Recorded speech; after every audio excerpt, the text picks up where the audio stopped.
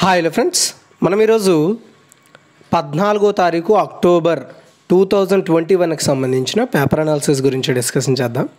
చాలా ముఖ్యమైన ఆర్టికల్స్ ఉన్నాయండి. చాలా ఎక్కువ ఆర్టికల్స్ కూడా ఉన్నాయి. కాబట్టి ఈ వీడియోని ఎండ్ వరకు చూడండి. డిలే అవుతున్నందుకు సారీ నాకు కొంచెం హెల్త్ ఇష్యూ ఉండడం ద్వారా నేను డిలే చేయడం జరుగుతుంది. అంతకుమించి ఇంకేం లేదు. కాబట్టి అది మీరు అందరూ కూడా అర్థం చేసుకొని నాకు కొంచెం సపోర్ట్ చేస్తే మళ్ళీ మనం రెగ్యులర్ టైంలోకి వచ్చేద్దాం. దానికి తోడు ఈ దసరా అడావిడి ఇవన్నీ కూడా ఉండడం వల్ల నాకు కొంచెం టైం కుదరట్లేదు. కాబట్టి ఆ టైంలో అయితే నేను సెట్ చేసుకోవడానికి ట్రై చేస్తున్నాను. దసరా అయిపోయిన వెంటనే మనం మళ్ళీ మన నార్మల్ షెడ్యూల్లోకి వచ్చేద్దాం. మార్నింగ్ మీకు ఇంకా ఎర్లీ మార్నింగే ఎయిట్ ఓ క్లాక్కే పేపర్ అనాలిసిస్ కూడా ఇంకా రాబోతుంది. ఓకేనా? సో ఈ పేపర్ అనాలిసిస్ అనేది ఎవరికి ఉపయోగపడుతుందంటే groups civils and S A constable stay state central పరి ఏ ప్రభుత్వ పరీక్షలు రాసే వాళ్ళకైనా పేపర్ అనాలిసిస్ అనేది చాలా ఉపయోగపడుతుంది. ఇది మీ నాలెడ్జ్ని బాగా పెంచుతుంది. ముఖ్యంగా గ్రూప్లో గ్రూప్స్ చదివే వాళ్ళకి ఎస్ఐ కానిస్టే మెయిన్గా ఎస్ఐ కానిస్టేబుల్కి చదివే వాళ్ళకి సివిల్స్కి ప్రిపేర్ అయ్యే వాళ్ళకి కూడా ఇది నాలెడ్జ్ని ఇస్తుంది. ఇండియాలో ది లార్జెస్ట్ లెర్నింగ్ ప్లాట్ఫామ్ అండి అన్ అకాడమీ. రీసెంట్గా వచ్చిన AP high court assistant and examiner batch కోర్స్కి ఇక్కడ కనబడుతున్న మొత్తం ఏడుగురు ఫ్యాకల్టీ ద్వారా సో వీటి మీద పర్టికులర్ కోర్స్ తీసుకొస్తున్నారు. ఇది అక్టోబర్ ఎయిటీన్త్ అని రాబోతోంది ఈ కోర్సు అదేవిధంగా మనకి డ్యూయల్ ఎడ్యుకేటర్ సెషన్ కూడా తీసుకొస్తున్నారండి. ఈ డ్యూయల్ ఎడ్యుకేటర్ సెషన్లో వచ్చేసి మనకి expected questions general science and history మీద దివిల అమరేందర్ రాజు గారు ఎండి అక్బర్ గారు క్లాస్ తీసుకుంటారు. ఇది ఈ రోజు నుండి start. And endowment paper two ఇది వచ్చేసి మనకి గ్రూప్స్కి రిలేటెడ్. ఇందు ఫ్రీ మాక్ టెస్ట్ సిరీస్ అయితే కండక్ట్ చేస్తున్నారండి. ఇది మనకి రేపు పదహారో తారీఖున ఉండబోతోంది. నూట యాభై ప్రశ్నలు ఉంటాయన్నమాట. So endowment paper two syllabus మీద మనకి ఈ యొక్క టెస్ట్ అయితే ఉంటుంది. అంతేకాకుండా group two free mock test series కూడా తీసుకొచ్చారు. ఈ సిరీస్లో ఎవరైనా పార్టిసిపేట్ చేస్తే మట్టిగా మీకు వన్ టు టెన్త్ ర్యాంక్ వచ్చిందనుకోండి. ఎవరైనా సబ్స్క్రిప్షన్ తీసుకుంటే ప్లస్ సబ్స్క్రిప్షను అందులో పర్సంటేజ్ ఆఫ్ స్కాలర్షిప్ ఇస్తారు మీకు. అంటే డబ్బులు కూడా తగ్గుతాయి. ఇందులో కానీ మీరు ర్యాంక్ సంపాదిస్తే నూట యాభై ప్రశ్నలు నూట యాభై నిమిషాలు ఫ్రీ స్కాలర్షిప్ టెస్ట్. ఇది మనకు వచ్చేసి endo environment issues disaster management and అంతేకాకుండా policies of Indian and logical reasoning general science important acts policies of Telangana science and technology ఇలాంటి వాటి మీద మీకు ఉంటుంది. తర్వాత వచ్చేసి మనకి AP high court assistant from examiner hundred marks topics వచ్చేసి తీసుకోబోతున్నారు అనమాట సిక్కోలి వెంకటేష్ గారు. అంతేకాకుండా మల్టీ చాయిస్ క్వశ్చన్ సెషన్ అనేది రాబోతోంది. హిస్టరీ విత్ ఎక్స్ప్లెనేషన్ ఎస్ గోరి మహమ్మద్ గారు తీసుకోబోతున్నారు అండ్ మనకి ఇక్కడ చూసుకుంటే నచ్చిన ఎడ్యుకేటర్ ద్వారా నేర్చుకోవచ్చు. మీరు సబ్స్క్రిప్షన్ తీసుకుంటే group one group two S A కానిస్టేబుల్కి complete preparation plan ఉంటుంది. డౌట్ క్లియరింగ్ సెషన్స్ ఉంటాయి. ఇంటరాక్టివ్గా నేర్పిస్తారు. వీళ్ళు ప్రొవైడ్ చేసే పీడిఎఫ్లు అన్నీ కూడా మీరు డౌన్లోడ్ చేసుకోవచ్చు. ఫ్రీలో అన్నీ కూడా లిమిటెడ్ యాక్సెస్ ఉంటాయండి. బట్ మీరు ప్లస్ ఆప్షన్ తీసుకుంటే కంప్లీట్ అండ్ అన్లిమిటెడ్ మీకు ప్రొవైడ్ చేయడం జరుగుతుంది. అండ్ అంతేకాకుండా ఇక్కడ మీకు నచ్చిన వీడియోని నచ్చిన పీడిఎఫ్ని అన్నీ కూడా మీరు డౌన్లోడ్ చేసుకునే ఆప్షన్స్ అయితే ఉండడం జరిగింది. అండ్ అంతేకాకుండా ఇక్కడ మీకు వన్ మంత్ సబ్స్క్రిప్షన్ వచ్చేసి పద్నాలుగు వందల రూపాయలు యాక్చువల్గా. కింద డిస్క్రిప్షన్లో ఈడియు ఇలా క్యాపిటల్ లెటర్స్లో ఉంటుంది. E D U tech ten అనే కోడ్. ఈ కోడ్ వాడితే మీకు టెన్ పర్సెంటేజ్ డిస్కౌంట్ వస్తుంది సబ్స్క్రిప్షన్. అంటే మీకు పన్నెండు వందల అరవై రూపాయలకే సబ్స్క్రిప్షన్ వస్తుంది. ఎవరికైనా ఇంట్రెస్ట్ ఉంటే ట్రై చేయండి. డిస్క్రిప్షన్లో అన్ని లింక్స్ ఇచ్చాను. ఉపయోగపడతాయి అనుకుంటే మాత్రం ఖచ్చితంగా సబ్స్క్రిప్షన్ ప్లాన్ తీసుకోండి. చూడండి. బీఎస్ఎఫ్ అధికార పరిధి పెంపు. బిఎస్ఎఫ్ అంటే ఏంటండి? Border security force. అంటే మన భారతదేశానికి ఏదైతే బార్డర్స్ ఉన్నాయో బార్డర్ పంచుకుంటాం కదా. ఫర్ ఎగ్జాంపుల్ ఇటు మనం బంగ్లాదేశ్ కావచ్చు నేపాల్ కావచ్చు పాకిస్తాన్ కావచ్చు చైనా కావచ్చు ఇలాంటి ప్లేసెస్లో గస్తీ కాసే బిఎస్ఎఫ్ ఏదైతే ఉంటుందో ఈ యొక్క దళం బిఎస్ఎఫ్ దళం యొక్క అధికార పరిధిని పెంచారు అనమాట ఓకేనా? అదేంటి ఒకసారి చూద్దాం. సరిహద్దు భద్రతా దళం దీన్ని బిఎస్ఎఫ్ అంటారు. తెలుగులో మనం సరిహద్దు భద్రతా దళం అంటే సరిహద్దుల్లో గస్తీ కాసే భద్రతను చూసుకునే ఒక దళం. అధికార పరిధిని విస్తృతం చేస్తూ అంటే పెంచుతూ కేంద్ర ప్రభుత్వం నిర్ణయం తీసుకుంది. మన దేశ సరిహద్దుల వెంట రక్షణ విధులు నిర్వహించే ఈ దళం ఇకపై పంజాబ్ పశ్చిమ బెంగాల్ అస్సాం రాష్ట్రాల్లో యాభై కిలోమీటర్ల వరకు లోపలకు వచ్చి సోదాలు జప్తులు చేయడంతో పాటు అనుమానిత వ్యక్తులను అరెస్ట్ చేయొచ్చు. మీకు అర్థమైందా? ఇంతకుముందు ఈ యాభై కిలోమీటర్ల అంటే వాళ్ళకి అధికార పరిధి ఏంటి? వాళ్ళకున్న పరిధిలో వాళ్ళు మాత్రం పనిచేయాలి. అంటే పదిహేను కిలోమీటర్ల వరకే వీళ్ళ పరిధి ఉండేది. ఫర్ ఎగ్జాంపుల్ అస్సాం కావచ్చు పశ్చిమ బెంగాల్ కావచ్చు అండ్ పంజాబ్ కావచ్చు ఈ రాష్ట్రాల్లోని బార్డర్ నుండి పదిహేను కిలోమీటర్ల ఆ రాష్ట్రం లోపలికి వచ్చి అక్కడ ఉండే వ్యక్తులను కావచ్చు సోదాలు కావచ్చు అరెస్టులు కావచ్చు చేసుకునే అవకాశం ఉండేది. ఇప్పుడు ఆ పదిహేను నుండి ఏకంగా యాభై కిలోమీటర్లకు పెంచారనమాట అంటే చాలా వరకు బార్డర్ నుండి చాలా లోపల వరకు కూడా రాష్ట్రాల లోపలికి ప్రవేశించి అక్కడ ఎవరైనా అనుమానం ఉన్న వ్యక్తి మీద సోదాలు చేయొచ్చు జప్తు చేసుకోవచ్చు ఆస్తుల్ని. అండ్ అనుమానితుల వ్యక్తులను అరెస్ట్ కూడా చేయొచ్చు. ఓకేనా? అది. ముఖ్యంగా గుర్తుపెట్టుకోండి చాలా ఇంపార్టెంట్ ఆర్టికల్. పంజాబ్ పశ్చిమ బెంగాల్ అస్సాం ఈ మూడు రాష్ట్రాల్లో ఈ యాభై కిలోమీటర్ల వరకు లోపలికి వచ్చే అవకాశం బీఎస్ఎఫ్కి సెంట్రల్ గవర్నమెంట్ ఇచ్చింది. ఇంతకుముందు ఉండేది వచ్చేసి ఫిఫ్టీన్ కేఎం వరకే. అయితే బీఎస్ఎఫ్ చట్టంలో గుర్తుపెట్టుకోండి బీఎస్ఎఫ్ చట్టంలో రెండు వేల పద్నాలుగు జులైలో పొందుపరిచిన నిబంధనలను నిబంధనలకు కేంద్ర హోంశాఖ ఈ మేరకు సవరణ చేసింది. పాకిస్తాన్తో సరిహద్దులు కలిగిన గుజరాత్లో బీఎస్ఎఫ్ సిబ్బంది సోదాలు నిర్వహించే ప్రాంత పరిధిని ఎనభై కిలోమీటర్ల నుంచి యాభై కిలోమీటర్ల దూరానికి కేంద్ర ప్రభుత్వం తగ్గించింది. అది దానికి ఎనభై కిలోమీటర్లకు అవకాశం ఇచ్చేవారు ఇంతకుముందు పంజ్ గుజరాత్లో. ఇప్పుడు దాన్ని యాభైకే సమానం చేసింది. రాజస్థాన్లో మాత్రం యాభై కిలోమీటర్ల పరిధిని యథాతథంగానే ఉంచింది. పంజాబ్ రాజస్థాన్లో కూడా పాకిస్తాన్తో సరిహద్దులను కలిగి ఉన్నాయి. అస్సాం మాత్రం బంగ్లాదేశ్తో అంతర్జాతీయ సరిహద్దును కలిగి ఉంది.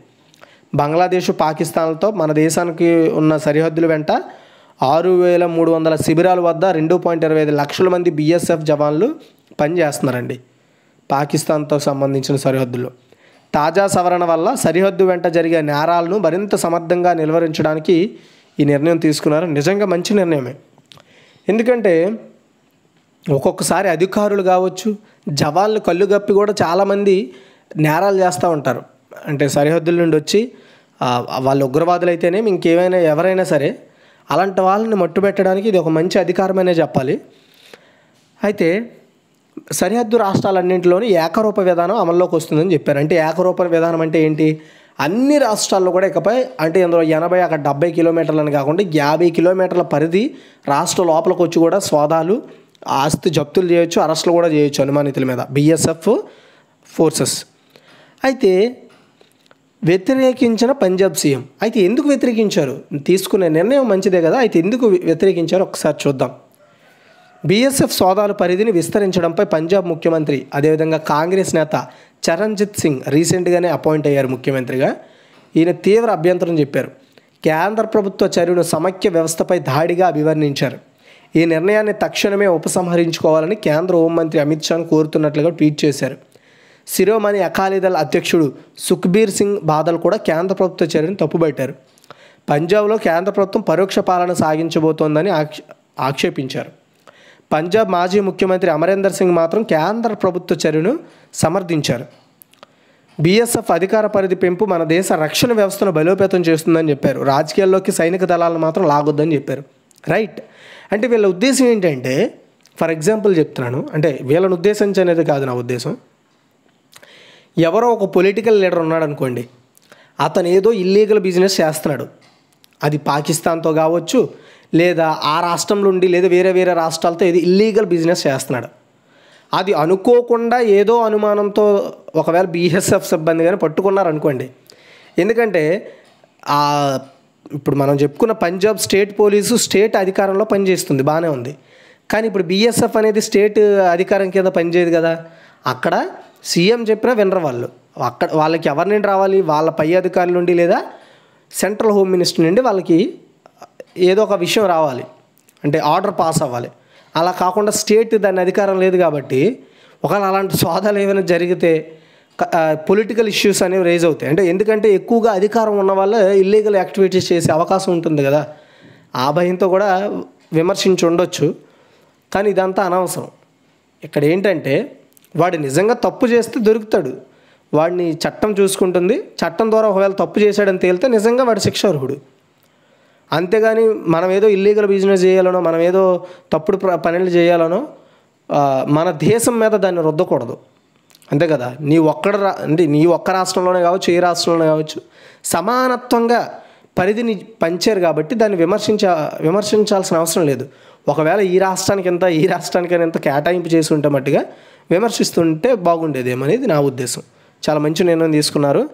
ఓకే తరువాత ఇరవై నాలుగు వారాల తరువాత గర్భస్రావానికి అనుమతి. అసాధారణ పరిస్థితులు అంటే అనుకోని సిచ్యువేషన్స్లో వాళ్ళ గర్భం దాల్చిన మహిళలు ట్వంటీ ఫోర్ వీక్స్ తర్వాత కూడా గర్భస్రావం చేయించుకునేందుకు కేంద్రం అనుమతించింది. అంటే అబార్షన్ అనమాట గర్భస్రావం అంటే మన ప్రెగ్నెన్సీని తొలగించుకోవడం. దాన్ని గర్భస్రావం అంటారు. ట్వంటీ ఫోర్ వీక్స్ తర్వాత కూడా చేసుకోవచ్చు. ఇప్పటివరకు ట్వంటీ ఫోర్ వీక్స్ ఇలా అంటే టూ మంత్స్ ఇలా దాటితే ఫైవ్ సిక్స్ మంత్స్ అంటే ఫైవ్ సిక్స్ మంత్స్ అంటున్నాను మీన్స్ టూ మంత్స్ ఇలా దాటితే త్రీ మంత్స్ ఇలా దాటితే చేసుకోవడానికి అవకాశం లేదు. కానీ ఇప్పుడు దాన్ని ట్వంటీ ఫోర్ వీక్స్ లోపు అంటే ఆ తర్వాత కూడా మనము ఎవరైనా ప్రెగ్నెన్సీని తీయించుకోవచ్చు అంటే తీయించుకోవచ్చు.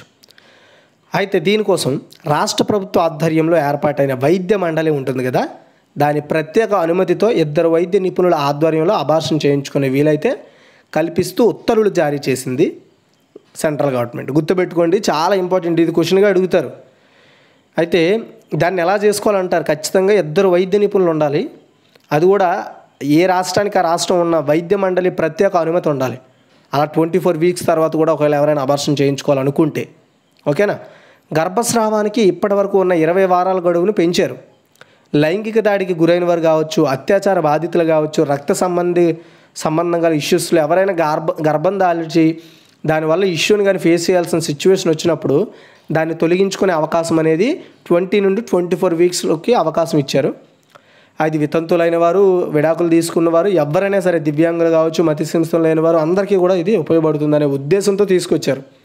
అంతేగాని వేరే ఉద్దేశంతో కాదు. అంటే అది కడుపులో ఉన్నది అమ్మాయా అబ్బాయా తెలుసుకొని దాన్ని రిమూవ్ చేసుకునేందుకు కాదు వీళ్ళకి అవకాశం కల్పించింది. ఈ మధ్యన మనకి ఆడవాళ్ళ మీద అసంగ కా అసాంఘిక కార్యకలాపాలు ఎక్కువయ్యాయి. అమ్మాయిల మీద దాడి చేయడము వాళ్ళని రేప్ చేయడము అంటే వాళ్ళని వాళ్ళు ఎవడో నన్ను ఏదో పాడు చేశాడని వాళ్ళ లైఫ్ని వాళ్ళు చంపేసుకోకుండా బతికి ఇలాంటి ఒకవేళ అసాంఘికంగా ఏమైనా గర్భం దాలిస్తే అలాంటి వాటిని తీసుకోవడానికి అలాంటి వాటికి అవకాశం కల్పిస్తూ వీళ్ళు ఈ నిర్ణయం తీసుకున్నారు. ఓకే? తర్వాత వైద్యపరమైన కారణాలతో చేసే అబార్షన్ల కోసం తాజా నిబంధనలు రూపొందించారు. సో ఇరవై నాలుగు వారాలు దాటితే గర్భస్రావం చేయించుకోవాలంటే కష్టాలు ఏర్పాటు అంటే రాష్ట్రాలు ఏర్పాటు చేసి ఏవైతే వైద్య మండలి ఉంటుందో వాటి అనుమతి తీసుకోవాలి. అలాంటి గర్భస్రావం వల్ల ప్రాణాలకు ముప్పు లేదని నిర్ధారించిన తరువాతే దానికి అనుమతి అయితే ఇస్తారు. ఒకవేళ అప్పుడు ట్వంటీ ఫోర్ వీక్స్ తర్వాత తీయించుకుంటే పర్లేదు. ట్వంటీ ఫోర్ వీక్స్ అంటే ఇంకొక నెల పెంచినట్టే.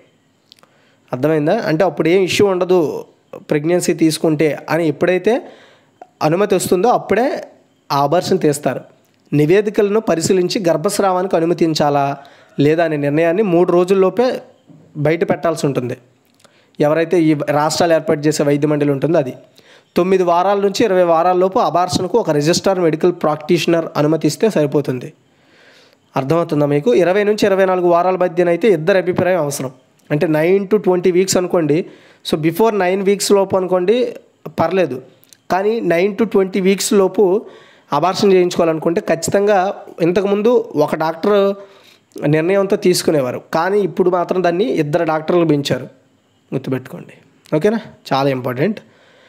అండ్ అంతరిక్షంలోకి కెప్టెన్ కిర్గ్. ప్రఖ్యాత టీవీ సిరీస్ స్టార్ ట్రెక్తో హాలీవుడ్లో కెప్టెన్ కిర్గ్గా ప్రాచుర్యం పొందిన తొంభై సంవత్సరాల విలియం సాట్నర్ అరుదైన గుర్తింపు ద దక్కించుకున్నారు. ఇతనే ఆ విలియం.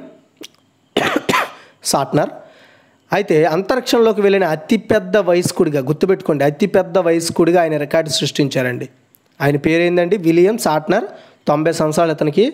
అతిపెద్ద వయస్కుడిగా అంతరిక్షంలోకి వెళ్ళిన వ్యక్తిగా నిల్చున్నాడు. ఆయన రికార్డు సృష్టించారు. బ్లూ ఆరిజిన్ అనే కంపెనీ వ్యోమనౌకలో స్నాట్నర్ బుధవారం అంతరిక్ష యాత్రను పూర్తి చేసుకున్నారు. భూ ఉపరితలం. భూ ఉపరితలం అంటే ఏంటి? భూమి పైనుంచి నూట అరవై కిలోమీటర్ల ఎత్తు వరకు కూడా వెళ్ళగలిగారు ఆయన. దాదాపు పది నిమిషాల్లోనే యాత్ర కంప్లీట్ చేసి బ్లూ ఆరిజిన్ ఉపాధ్యక్షురాలు ఆడ్రే పవర్స్ మరో ఇద్దరు క్రిస్ జోస్జన్ గ్లెన్ డీ రైస్ కూడా శాట్నర్తో పాటు ఈ యాత్రలో పార్టిసిపేట్ చేశారు. ఓకేనా? గుర్తుపెట్టుకోండి. ఇతను ఒక టీవీ సిరీస్ స్టార్ ట్రిక్ అనమాట బాగా ఫేమస్ అయిన ఇతను కెప్టెన్ కిర్గిగా బాగా పాపులర్ అయిన సో అతిపెద్ద వయసులో అంతరిక్ష యాత్ర చేసిన వ్యక్తిగా సాట్నర్ విలియం సాట్నర్ నిలిచాడు.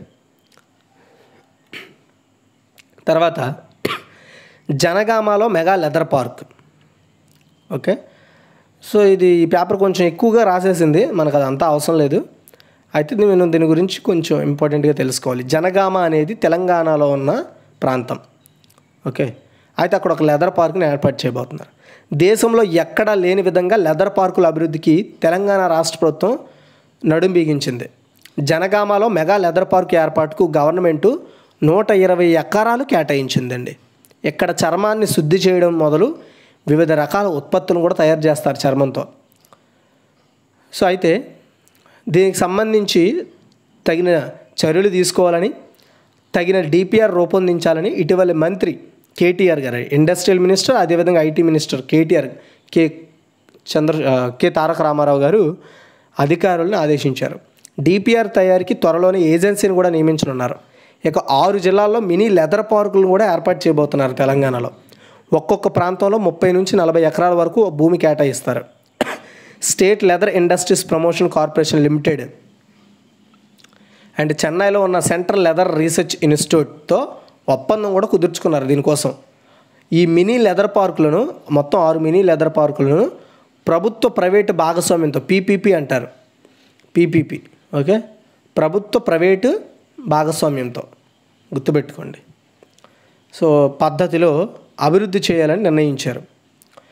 సో దేశ విదేశాల్లో ప్రఖ్యాతిగాంచిన కంపెనీలు బహుళజాతి సంస్థలు కర్మాగారాలు ఏర్పాటు చేసే అవకాశం ఉందని అధికారులు చెప్తున్నారు. అయితే కేంద్ర ప్రభుత్వ క్లస్టర్ డెవలప్మెంట్ ప్రోగ్రాం కింద నిజామాబాద్ జిల్లా ఆరుమూరులో లెదర్ క్లస్టర్ ప్రాజెక్టును కూడా చేపట్టబోతున్నారు.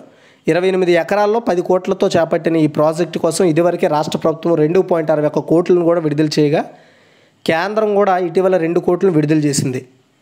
రోడ్లు డ్రైనేజీ విద్యుత్ సరఫరా కామన్ ఫెసిలిటీ సెంటర్ ఏర్పాటుతో పాటు ముడి సరుకుల నైపుణ్య శిక్షణ సంస్థ నిర్మాణం తదితర సదుపాయాలు కల్పిస్తారు. దాదాపు రెండు దశాబ్దాలుగా పెండింగ్లో ఉన్న లెదర్ క్లస్టర్లను తెలంగాణ రాష్ట్రం ఏర్పడిన తరువాత మంత్రి కేటీఆర్ చొరవతో దీనికి మోక్షం కలిగింది. ఈ ప్రాజెక్టు ద్వారా ఐదు మందికి ప్రత్యక్షంగాను వెయ్యి మందికి పరోక్షంగా ఉపాధి అనేది దొరుకుతుంది. మంచి విషయమే. ఓకేనా? అయితే మినీ లెదర్ పార్కులు ఏర్పాటు చేయ ఏర్పాటు చేయబోయే ప్రాంతాలు ఏంటి అంటే తెలంగాణలో పోలేపల్లి మహబూబ్ నగర్ దండేపల్లి నల్గొండ మందమర్రి మంచిర్యాల జింకుంట నాగర్ కర్నూల్ రుక్మ రుక్మాపూర్ కరీంనగర్ మల్లెమడుగు ఖమ్మం. తర్వాత ఇక్కడ చూడండి వరల్డ్ స్టీల్ చైర్మన్గా Sajjan Sajjan Jindal. World steel association అండి. World steel association. దీనికి చైర్మన్గా G JSW chairman and MD Sajjan Jindal ఎన్నికయ్యారండి. Belgium కేంద్రంగా పనిచేస్తున్న ఈ ఏదైతే వరల్డ్ స్టీల్ అసోసియేషన్ ఉందో సో ప్రతిష్టాత్మక ఈ ఉక్కు సంఘానికి చైర్మన్గా నియమితులైన ఫస్ట్ ఇండియన్ ఈయన. ఓకే. వైస్ చైర్మన్గా హెచ్బిఐఎస్ గ్రూప్కి చెందిన Yu Yong POSCO Yang Woo చోయ్లు పనిచేయబోతున్నారు. ఎగ్జిక్యూటివ్ కమిటీలో Tata steel CEO TV Narendran Arcelor Mittal chief LN Mittal నియమితులయ్యారు. ఇంతవరకు తెలుసుకోండి చాలా అంతకు మించి ఏం అవసరం లేదు. అంటే వరల్డ్ వైడ్గా ఉన్న ఏదైతే స్టీల్ కంపెనీస్ ఉంటాయో వాటన్నింటికి ఇది ఒక అసోసియేషన్ కింద పనిచేస్తుంది. ఓకేనా? అది. దీనికి చైర్మన్గా జేఎస్డబ్ల్యూ చైర్మన్ అండ్ ఎండి అయిన సజ్జన్ జిందాల్ గారు ఎన్నికయ్యారు. ఇలాంటి ఒక అసోసియేషన్కి ఈ అసోసియేషన్కి ఎన్నికైన మొదటి భారతీయుడు కూడా ఈయనే. తర్వాత సత్యనాదేళ్ళకు సీకే ప్రహ్లాద్ అవార్డు. సో సత్యనాదేళ్ళు ఎవరండి? Microsoft CEO. అదేవిధంగా భారత సంతతికి చెందిన వ్యక్తి కూడా మన తెలుగు వ్యక్తే మళ్ళీ. సత్యనాదేళ్ళకు గ్లోబల్ బిజినెస్ సస్టైనబిలిటీ లీడర్షిప్ విభాగంలో ప్రఖ్యాత సీకే ప్రహ్లాద్ అవార్డు దక్కింది. భారతీయ అమెరికన్ అయిన ప్రహ్లాద్ గౌరవార్థం రెండు వేల పదిలో కార్పొరేట్ ఈకో ఫారం ఏర్పాటు చేసిన ఈ అవార్డును అంతర్జాతీయ ప్రైవేట్ రంగంలో పర్యావరణ రహిత కార్యక్రమాలకు అసాధారణ రీతిలో వినూత్నంగా నిర్వహిస్తూ దీర్ఘకాల వ్యాపార విజయాలను కలిగి ఉన్న వారికి ఇస్తూ ఉంటారు. నాదేళ్ళతో పాటు Microsoft president vice vice chair Brad Smith CFO Amy Hood chief environment officer Lucas చొప్పలకు కూడా ఈ గౌరవాన్ని ఇచ్చారు. రెండు వేల ముప్పై కల్లా కర్బన రహిత సంస్థగా మైక్రోసాఫ్ట్ను మార్చడం రెండు వేల యాభై కల్లా చారిత్రాత్మక ఉద్గారాలన్నింటినీ తొలగించాలన్న లక్ష్యంతో కలిసికట్టుగా పనిచేస్తున్నందుకు గాను ఈ ప్రత్యేకమైన అవార్డుని సికే ప్రహ్లాద్ అవార్డుని ప్రొవైడ్ ప్రొవైడ్ చేస్తున్నారు. ఓకే? తర్వాత రోనాల్డో రికార్డ్ హ్యాట్రిక్. అంతర్జాతీయ ఫుట్బాల్లో పది హ్యాట్రిక్లు నమోదు చేసిన తొలి ఆటగాడిగా ఫుట్బాల్ దిగ్గజం పోర్చుగల్ స్టార్ ఆటగాడు క్రిస్టియానో రోనాల్డో రికార్డు సృష్టించాడండి. రెండు వేల ఇరవై రెండు ప్రపంచ కప్ గ్రూప్ ఏ క్వాలిఫైయింగ్ మ్యాచ్లో లక్సెంబర్గ్లో మ్యాచ్లో రొనాల్డో చెలరేగాడు. పోర్చుగల్ ఐదు సున్నాతో ఘన విజయం సాధించింది. రెండు పెనాల్టీలను గోల్గా మలిచిన రొనాల్డో ఆఖర్లో హెడ్ గోల్ మాత్రం నమోదు చేశాడు. ఫుట్బాల్ కెరీర్లో అతడి హ్యాట్రిక్ నమోదు చేయడం అతడికి యాభై ఎనిమిదో టైం ఇది. మరోవైపు డెన్మార్క్ ప్రపంచ కప్కు అర్హత సాధించిన రెండో జట్టుగా నిలిచింది. ఓకే. సో బుధవారం మ్యాచ్లో డెన్మార్క్ ఒకటి సున్నాతో ఆస్ట్రియాను గెలిచింది. జర్మనీ ప్రపంచ కప్ అర్హత సాధించిన తొలి జట్టుగా నిలిచింది. ఈ విషయాన్ని నేను ఆల్రెడీ నేను కరెంట్ అఫైర్స్లో చెప్పాను. రెండో జట్టుగా డెన్మార్క్ నిలిచింది. Okay? So next woman grand మాస్టర్గా Divya. Divya Deshmukh woman grand master హోదాని దక్కించుకుందండి. ఓకే? దివ్య అనే ఆమె దేశ్ముఖ్ ఉమాన్ అనే ఒక grand sorry Divya Deshmukh woman grand master హోదా. గుర్తుపెట్టుకోండి. దివ్య దేశ్ముఖ్ ఈమె ఈమె ఉమెన్ గ్రాండ్ మాస్టర్ హోదాను దక్కించుకుంది. So Budapest హంగేరీలో fast first standard grand master chess tournament సందర్భంగా ఆమె హోదా దక్కించుకుంది. ఓకే. మహారాష్ట్రకు చెందిన పదిహేను సంవత్సరాలు ఈ దివ్య దేశ్ముఖ్. ఫస్ట్ స్టాండర్డ్ టోర్నీలో తొమ్మిది రౌండ్ల నుంచి ఐదు పాయింట్లు సాధించింది. ఆమె మూడు గేముల్లో గెలిచి నాలుగింటిని డ్రాగా ముగించి ముగించింది. రెండు గేముల్లో ఓడిపోయింది. భారత్ ఇరవై ఒక డబ్ల్యూఎంగా నిలిచినందుకు అఖిల భారత చెస్ సమైక్య దివ్యకు అభినందన తెలిపింది. అంటే మనకి డబ్ల్యూజిఎం డబ్ల్యూజిఎం అంటే ఉమెన్ గ్రాండ్ మాస్టర్. ఇరవై ఒక్కవ మన భారతదేశానికి ఇరవై ఒకటవ గ్రాండ్ మాస్టర్గా ఎవరు నిలిచారు అంటే ఉమాన్ దేశ్ముఖ్ అని గుర్తుపెట్టుకోండి. దివ్య దేశ్ముఖ్ ఉమాన్ కాదు సారీ. దివ్య దేశ్ముఖ్ ఇరవై ఒకటవ ఉమెన్ గ్రాండ్ మాస్టర్గా నిలిచింది దివ్య దేశ్ముఖ్. ఈమె మహారాష్ట్రకి చెందిన అమ్మాయి. తర్వాత ఎడిటోర్లు అండి. అధికారాలు లేని పదవులు. అసలు ఈ అధికారం లేని పదవులు ఏంటో ఒకసారి చూద్దాం. అధికారులు అధికారాలు అధికారులు కాదు అధికారాలు. అధికారాలు లేని పదవులు అంట అవి ఏంటో చూద్దాం. గ్రామాల్లోని సమస్యలను సత్వరం గుర్తించే పల్లె ప్రగతిని పరుగెత్తించాలన్న సంకల్పంతో ప్రాదేశిక వ్యవస్థను ఏర్పాటు చేశారు. ప్రభుత్వ విధులు నిధులు అధికారాలను అప్పగించకపోవడంతో ఎన్నిక ఎన్నికవుతున్న జిల్లా పరిషత్ ప్రాదేశిక నియోజకవర్గ అంటే లైక్ జడ్పీటీసీ సభ్యులు మండల పరిషత్ ప్రాదేశిక నియోజకవర్గ సభ్యులు ఉత్సవ విగ్రహాలుగా మారుతున్నారు. రాష్ట్ర విభజన అనంతరం తెలంగాణలో రెండు వేల పంతొమ్మిదిలో ఐదు వందల ముప్పై ఎనిమిది జడ్పీటీసీ ఐదు వేల ఎనిమిది వందల పదిహేడు ఎంపీటీసీ స్థానాలకు ఎన్నికలు నిర్వహించారు.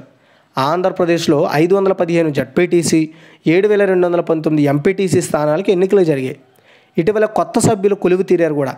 గ్రామాల్లో ప్రగతిని ఉరకలెత్తించాలనే వీరి ఆశాలపై నిధులు విధులు లేని అంటే నిధులు లేవు విధులు లేవు అనమాట ఆంధ్రప్రదేశ్లో.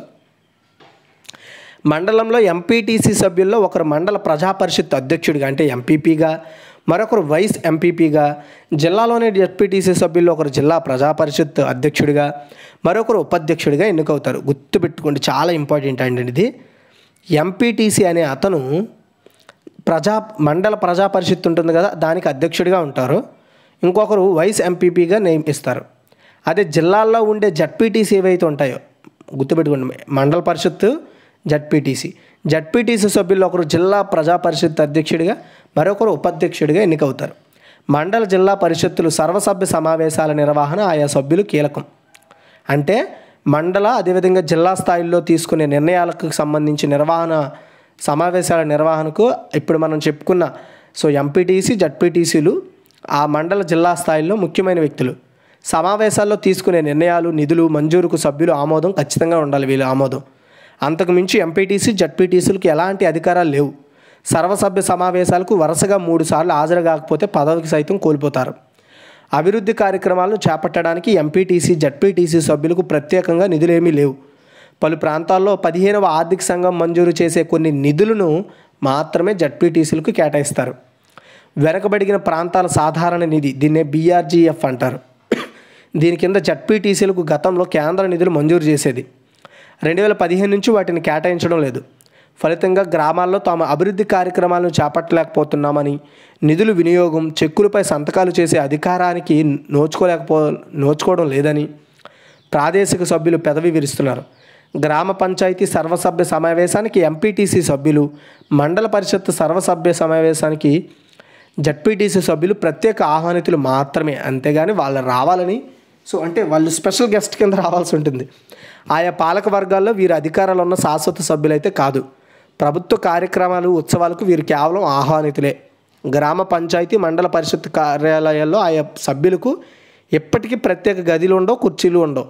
గ్రామ స్థాయి సమావేశాలకు ఎంపీటీసీ సభ్యులు మండల స్థాయి సమావేశాలకు జడ్పీటీసీ సభ్యులు హాజరవుతారు.